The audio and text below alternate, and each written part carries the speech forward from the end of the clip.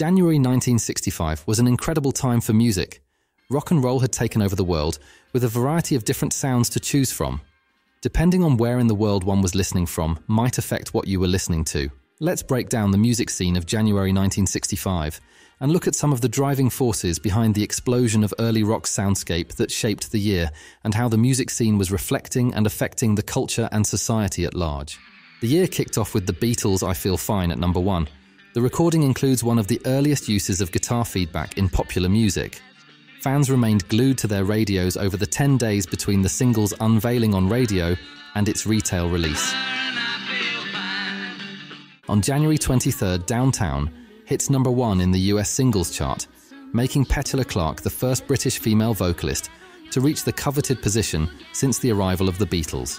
The soft spoken session guitarist who plays on the track will go on to form a band just three years later and will eventually knock the Beatles' Abbey Road out of the number one spot. Do you know who it is? Stay tuned to find out.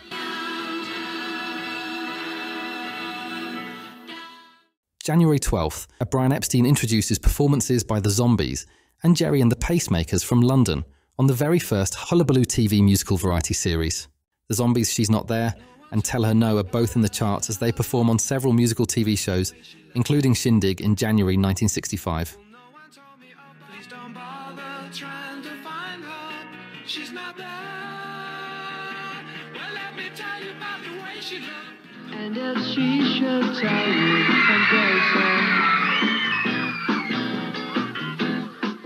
In the UK, other chart toppers include the Rolling Stones' Heart of Stone, the Kinks' All Day and All of the Night, and Marianne Faithfull's As Tears Go By.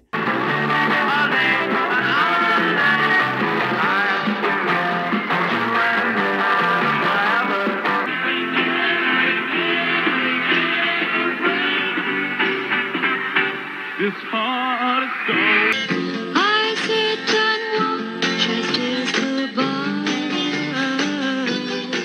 Yeah, do you feel alright? You know you make me want to shout. In another January 1965 music happening, The Who make their first appearance on British television programme Ready Steady Go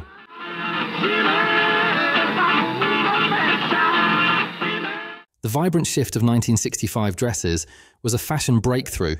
The early 1960s saw an extension of the late 1950s elegance, but with the optimism taking the world by storm. Bold colours went hand in hand with the optimistic music of 1965. As the music states, everyone felt fine, loved going downtown where the boutiques played rock music and shopping was a bustling social event to see and be seen. The iconic music of England in 1965 was influencing the iconic fashion scene, and vice versa. People flocked to places like Carnaby Street in London.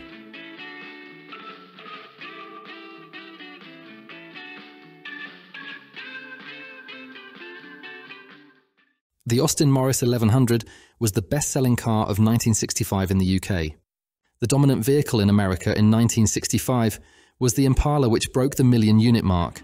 Like the Cars, the music coming out of America was somewhat different. Across the pond in the US, the music being made had a more rhythm and blues feel, and artists out of Motown dominated the charts.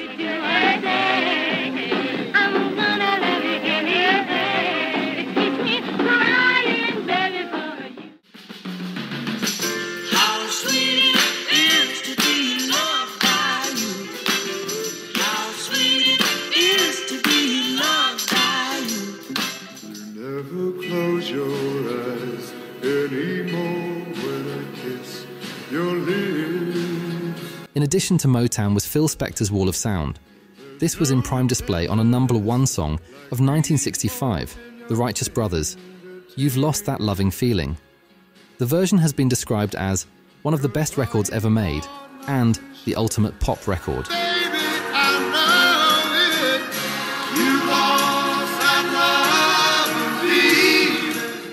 New albums released and well received in January 1965 are Rolling Stones number 2, the Four Tops, Ray Charles live in concert, The Zombies, The Ike and Tina Turner Show, and Odetta Sings Dylan.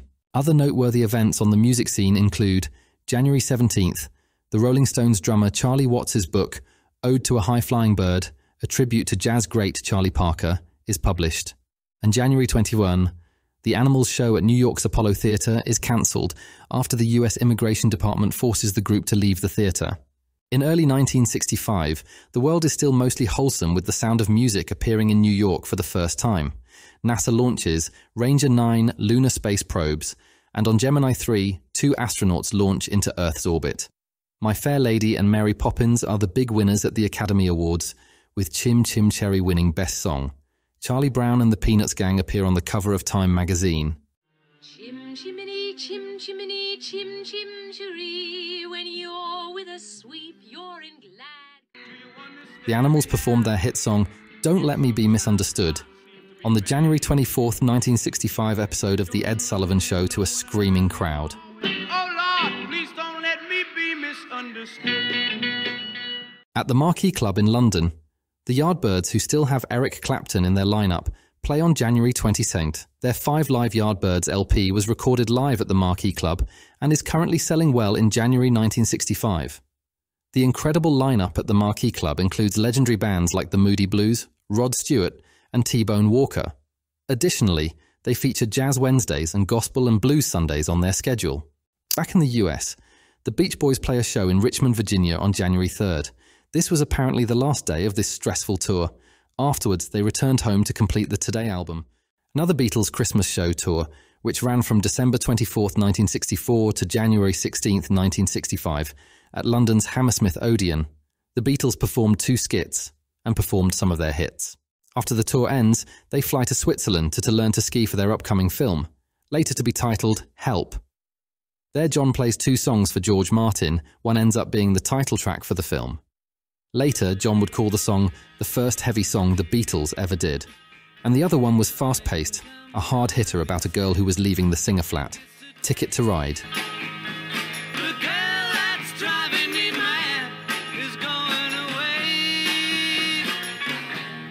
Earlier, we looked at Petula Clark's hit Downtown and the session guitarist who played on the studio track. Did you guess who it was? One of England's most prolific session guitarists during this period, who played on many of England's most famous singles at Decca Studios, including Downtown, was none other than Led Zeppelin's Jimmy Page. Led Zeppelin II was the band's first album to hit number one in the US, knocking the Beatles' Abbey Road 1969 twice from the top spot, where it remained for seven weeks. Well, that's it for January 1965. I hope you enjoyed this trip down music history lane, exploring the music scene and other interesting facts. Your feedback is greatly appreciated. Please leave a comment below.